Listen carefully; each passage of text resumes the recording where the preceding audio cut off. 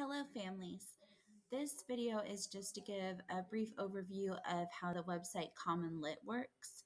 This is one of the choices our students have on their list of suggested activities. I'm using a test class right now just to show you how it works. For my students, they will access the assignments through the links on Google Classroom, and I'll be posting a video for them about that later but this video could be used for anybody who just wants to see the student view of what to do with Common Lit. So once the students are on their Common Lit page, they're signed in and they are on the assignments, they will see any assignments that are um, provided to them. This one is Girls of the Crescent. And if they want to start, they just click on it this is just a reminder of what they should be looking for as they read. Says, as you read, take notes on why Mena and Zena decided to create the Girls of the Crescent organization. So it kind of gives them a brief overview of the assignment and what they should be paying attention to. The cool thing about Common Lit is it allows them to annotate as they read the assignment. So click got it, and they're now on the assignment. They can choose font size. So if the font is too small, they can increase it um, there is a read aloud option that will read the article to them. Uh, translate, we're not really using, but if this is somebody watching the video from somewhere else, that may be an option. This is the annotate button, which I love. It allows them to highlight and add notes as they read.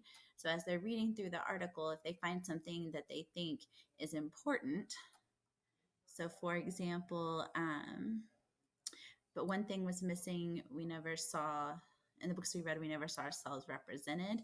So they can choose to highlight that text.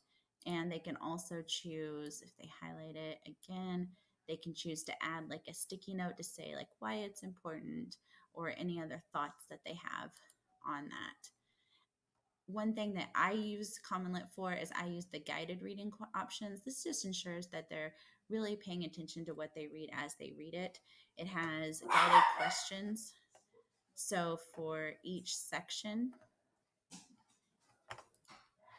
so for each section, it gives them a section to read, blurs out the rest, and they have to answer the guided read question correctly before they can move on to the next part of the text and you'll see it blurs out the rest of it. They can try these guided readed guided reading questions as many times as they need to to get through. But they may need to go back and reread in order to find the answers. So, for example, this one, what did Mena and Zena realize about the books they read? Well, that was that part that we highlighted right here um, the books were missing characters that were Muslim women. So we'd select that. It tells us that we are correct and allows us to move on to the next part. So now the next part is available. And when you get to it for them to see it, they click on Q2 and that gives them the next question. So, how are Mena and Zena filling libraries with books? So it asks that. We'd have to find through, read the article to find it. Um, I'm going to click down here. I don't know if it will let me. Nope.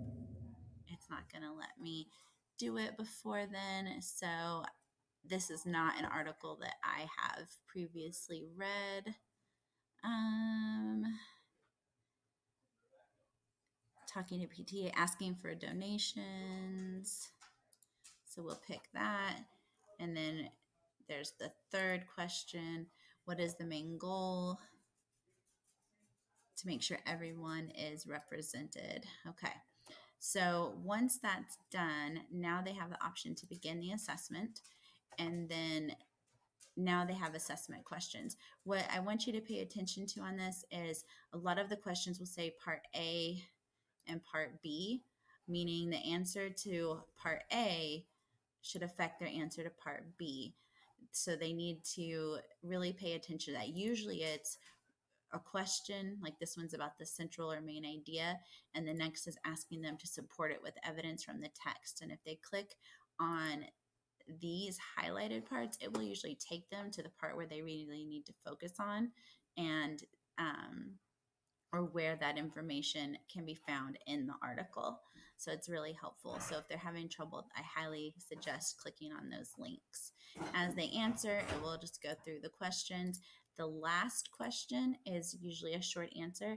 I like my students to use the WRAP strategy. So they restate the question, answer, and then provide evidence from the text. Providing that evidence from the text is really important. So that's where they refer back to something specific from the story that supports their answer. A lot of times it's an opinion question, but they should be able to support their opinion with um, with evidence from the text. And once that's done, once they've answered everything, then it will allow them to submit the answer to the teacher. Then the teacher can come back in and give feedback on their answers, and they can see that later or go back and adjust their answers to the questions. So when you see your students working on this, this is kind of what they should be doing. I highly encourage them to read carefully. That's why I do enable the guided reading mode um, words that they are unfamiliar with, if they click, it will give them definitions to words that, that kind of expects them to maybe not be familiar with. Um, and again, if they need to use that read aloud option, that is there. If you have any other questions, go ahead and contact me through Seesaw on how to use Common Lit. Thank you.